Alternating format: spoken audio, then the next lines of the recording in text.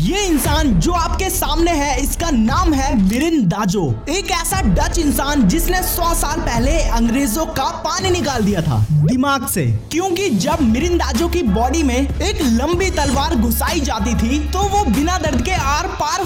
बची थी और वो भी बिना एक बूंद खून की निकले ये चीज देखने के बाद कई लोगों को हार्ट अटैक आ चुका था लेकिन ऐसा नहीं था कि वो छेदी सिंह थे मेरिन दाजो बचपन से ही भारत में रहे और ये टेक्निक उन्हें भारत के नागा साधुओं ने सिखाई जिसमें बहुत दर्द भरी कंडीशन से गुजरना पड़ता है लेकिन 1948 में दाजो की मौत हो गई क्योंकि जानबूझकर उन्होंने एक स्टील की सुई खा ली थी यानी निगल ली थी